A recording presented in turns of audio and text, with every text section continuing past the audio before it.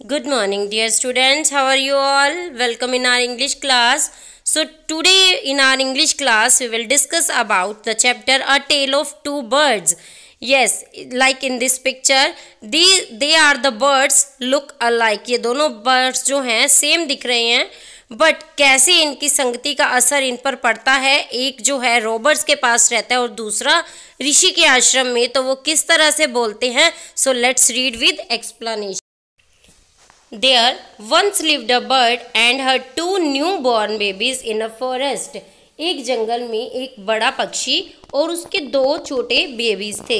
They had a nest in a tall shady tree and there the mother live mother bird to care of her little ones day and night shady means छायादार पेड़। तो उनका एक nest था, एक बड़ा सा nest एक छायादार पेड़। उनके ऊपर वो जो रहते थे और मदर बर्ड जो थी दिन रात अपने बच्चों की देखभाल करती थी। लिटिल वंस मीन्स छोटे बच्चों की।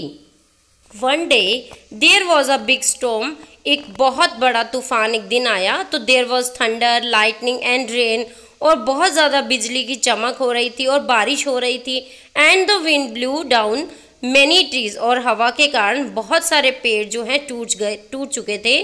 The tall tree in which the birds lived also came down और वो बड़ा सा पेड़ जहाँ पर बर्ड्स रहते थे, वो भी टूट गया था। A big heavy branch hit the nest and kill the bird एक बहुत बड़ी ब्रांच ने पूरे ट्री को हिट कर दिया और इससे क्या हुआ? मदर बर्ड की डेथ हो गई।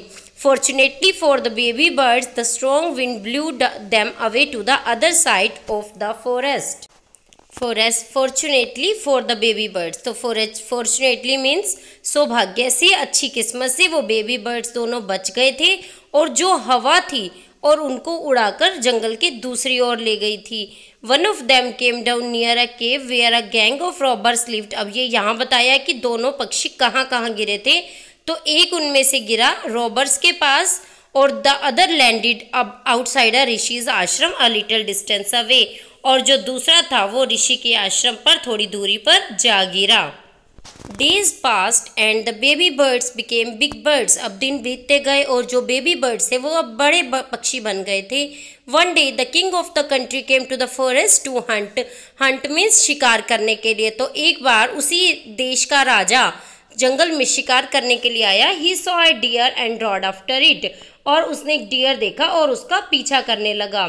It ran deep into the forest followed by the king और राजा उसका पीछा करते करते बहुत दूर तक निकल गया soon the king lost his way and didn't know where he was और उसका पीछा करते करते राजा को अब अपना रास्ता खो गया और उसको हिरन भी दिखाई नहीं दिया और उसको खुद को नहीं पता कि अब वो कहाँ पहुँच गया।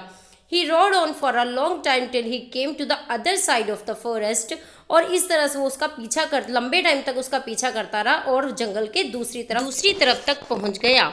Very tired by now, he got off his horse and sat down under a tree and stood near a cave.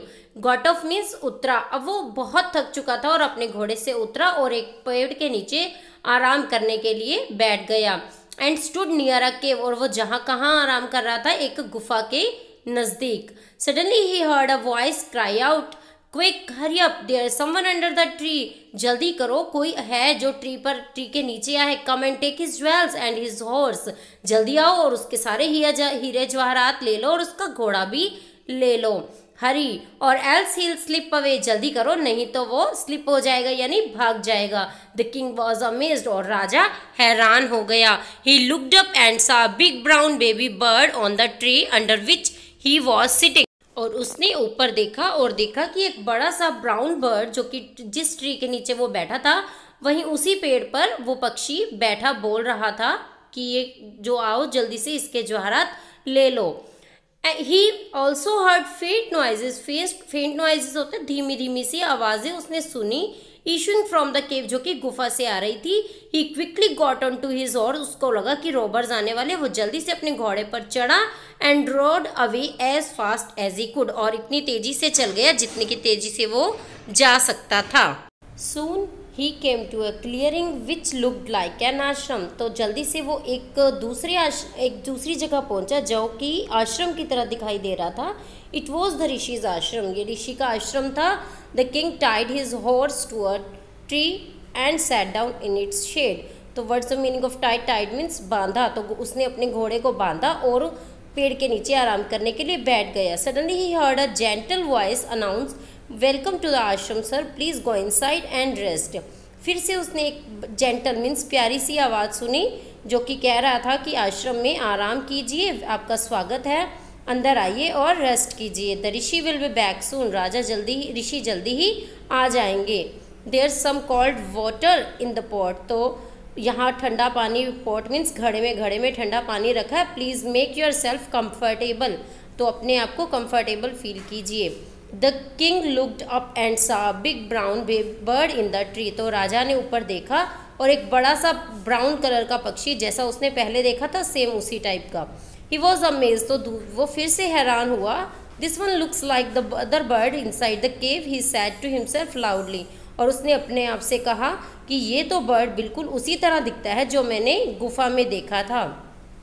You are right sir answer the bird he is my brother but he has made friends with robbers yes आप सही सोच रहे हैं, sir. उसने राजा से कहा तो वह मेरा भाई है बट उसने लुटेरों के साथ फ्रेंडशिप बना रखी है। उसका, उनका फ्रेंड्स है। He now talks as he as they do और उसी तरह बात करता है जैसे वो करते हैं। He doesn't talk to me any more वो मुझसे भी बात नहीं करता। Just then the rishi enter the ashram और उसी समय ऋषि भी आश्रम में एंटर करते हैं। Welcome sir he said to the king please come inside and make yourself at home तो ऋषि ने राजा से कहा, आइए, आपका स्वागत है। आइए, अंदर आइए और अपने इसको घर जैसा ही समझिए। यू लुक टायर्ड आप बहुत थके हुए फील कर रहे हैं, आप बहुत थके हुए से लग रहे हैं। रेस्ट फॉर अ वाइल कुछ देर के लिए आराम कीजिए। Then you can share my food तब आप हमारे साथ भोजन कर कर सकते हैं। The king told the rishi the story of the two birds and how each had behaved so differently though they look so alike alikes mean alike mean same समान। तो राजा ने ऋषि को स्टोरी बताई, दोनों बर्ड्स की, और ये बताया कि कैसे दोनों बर्ड्स डिफरेंटली बिहेव करते हैं, जबकि वो दोनों ही सेम दिखते हैं। The forest is full of surprises ये फॉरेस्ट जो है, पूरा सरप्राइजेज से, यानी हैरानी भरी बातों से भरा हुआ है। The holy man smiled holy man यहाँ किसको कहा गया? ऋषि को। तो वो ऋषि जो थे, वो उन्होंने स्माइल किया, हंसे एंड सैड और कहा after all one is come one is known by the company one keeps after all कि जो एक कोई भी व्यक्ति है, वो अपनी कंपनी के द्वारा ही जाना जाता है। That bird has always heard the talk of robbers ये इस बर्ड ने हमेशा रॉबर्स यानी लुटेरों की बातें सुनी हैं। तो ही इमिटेट्स इमिटेट्स मीन्स नकल करना कॉपी करना and talks about robbing people तो वो उन्हीं की नकल करता है और उन्हीं की तरह बात करता है। This one has repeated what he has always heard और ये उन्हीं की और ये जो मेरी बात सुनता है, ये हमारे, हमें ही रिपीट करता है।